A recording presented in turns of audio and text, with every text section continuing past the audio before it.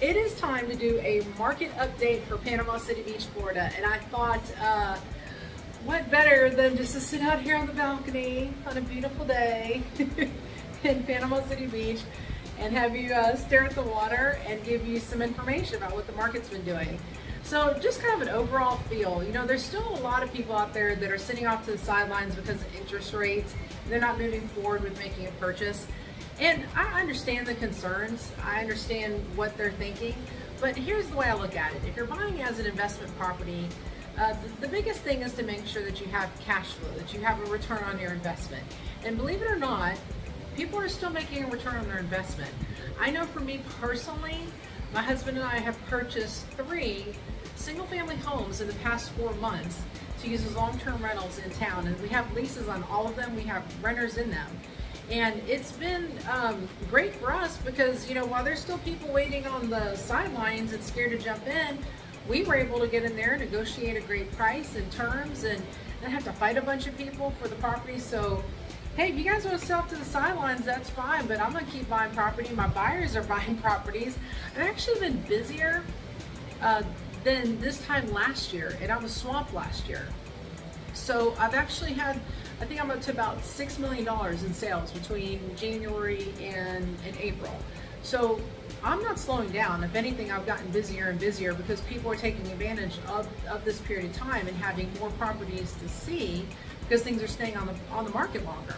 So I normally don't do like statistics and such because, I don't know, it, it, I just have a better vibe and a better feel for what's going on. But I did want to do some statistics this time because I think it's really important to show what's really going on in this market and how if you don't start thinking about buying now, you may be in the same situation as we were in the past couple years. So I'm gonna put on my glasses so I can look extra studious because I have to actually look at my papers for this. This is what I found very, very interesting. So I pulled this report today for February and March of this year.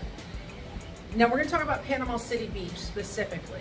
So in February, there were 118 properties sold across the entire beach, all different type of properties, price range, yada yada.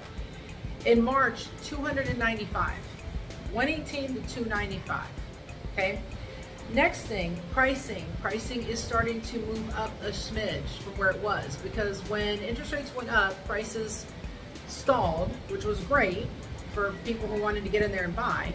But then uh, they, some came down and some did settle down, but then uh, now we're starting to see a little bit of an increase in that pricing happening.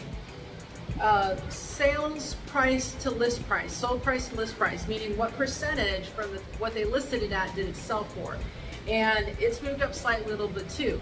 So in February, the property sold for 96% of what it listed for, and in March, 97% of what it listed for. So if you have your property priced correctly, priced right, then it's going to sell and you're gonna you're gonna get pretty much your full value for it. Now there are some still old properties on the market that people have had um, sitting around since before the rates changed and they haven't adjusted their pricing. Well, they're just gonna keep sitting because as some new properties are coming on the market, um, they're more in line with today's pricings, right? More balanced pricing is what we call it. Okay, days on market. This is a big one. So days on market, how long it took a property to sell on average in February was 62 days. Okay. Now, of course, last couple years before that, it was like negative two days. they were being snapped up like that. March, that dropped to 45 days. So business is picking up for sure. Properties are not staying on the market as long as they were before. This is another big telling, telling time right here. You had months of inventory. So that is, if nothing else came on the market today, how many months would it take before what's on the market now would all be gone? In February, there was 5.8 months of inventory, so almost six months of inventory. Now for March, 3.4. So close to almost half, 3.4. That's now we're leaning back towards the seller market. Buyer's market is about six months and more. Seller's market is in the, the two months range or, or less, typically. And then sold volume is a huge one too. My hair is not doing well out here in this, but I'm still enjoying it out here. So you guys just have to deal with it. All right, sold sold volume. So sold volume, that's total dollars sold in February was $92 million. It's a lot, right? It's a lot. Guess what it was in March? 166. 166. So we got we got solds moving up, we've got pricing edging up a little bit, we've got days on market dropping, we've got all the indicators that we have a very healthy market in our area. That we are moving inventory, we are selling properties, and people are still buying. And I know for me, I've been running around like crazy showing properties and closing properties and listing properties. So um, it's, it's, it's been that, I, I'm seeing that for myself firsthand. Okay, so let's break it down like this because it's another interesting statistic I want you to know. So we're talking about condos only. So if you're an investment buyer looking to buy like a Gulf front condo or anything that's classified condo, that could also be a building across the street from the beach, but condo classified. There's only 472 units on the market at this time. That's all price ranges everything from a studio up to a four bedroom, the whole shebang. Now, 472 may sound like a lot, but I'm gonna put that in perspective for you. We have 10,581 units between all of those buildings, okay? Somebody can do the math and tell me the percentage because I didn't do it. But if there's only 472. Now, narrow that down a little bit more, and there's only 263 units priced under 500,000 across the beach, 263, okay? Now, I, I, will tell you that off the top, I, I would probably eliminate a certain percentage of those buildings or certain buildings, I'm not gonna say the names on, on film, but uh, call me and I'll tell you, that have bulk inventory, 40, 50 listings, that they're they're that way for a reason, okay?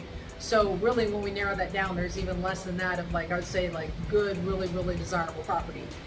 And then if you're looking to purchase something under 300,000, which has always been a challenging price point in our market, there's 51 options, 51 properties on the market, which I can tell you is a lot more, a lot more than there has been uh, for the past previous years in our market. So there is options for everybody, but those options are starting to dissipate. The other thing we anticipate happening is that as we're moving into high season for making your rental income, a lot of sellers will be holding onto their property and not looking to list it because they're going to quite frankly make a lot of money coming up, right? And so then they may want to list after Labor Day well, that makes it a little bit more challenging because if you're buying after Labor Day, then um, you're going to be in the low season, which is fine. You'll still get some renters and you may get some snowbirds, folks that come down here and stay for two, three months, but you won't have the, you won't get advantage of the peak season until,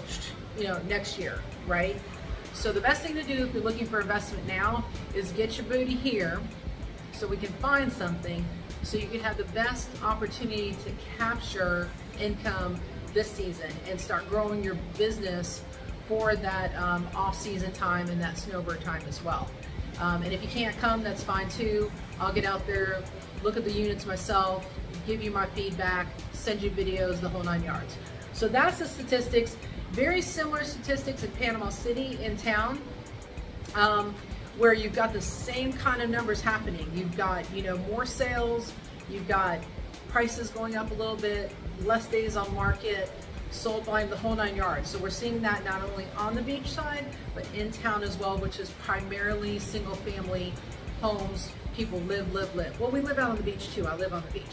But you know, we do a lot of condos out here too. So that is your report. That is your Panama City Beach market report for the months of February and March. Uh, April is looking to be a very, very busy month as well. And uh, we have people out here still vacationing and, and, enjoying everything that Panama City Beach has to offer. So you have any questions, feel free to reach out to me. If you're looking to, let me take these off now.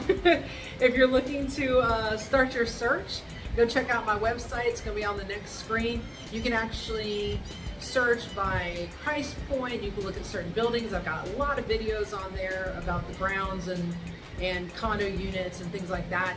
And then make sure if you're finding me on YouTube that you check out all of my series about you know, buying investment property, from financing to insurance to management companies, the whole nine yards.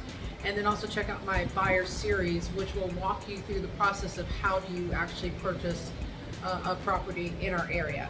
So feel free to reach out. Thanks for sticking with me. Hopefully you watched the whole the whole video. Maybe the maybe what's behind me uh, captured your attention and kept you with me. So uh, please, please, please like and subscribe to my YouTube channel and give me a call if you have any questions. Love to help you. Have a great day. Bye.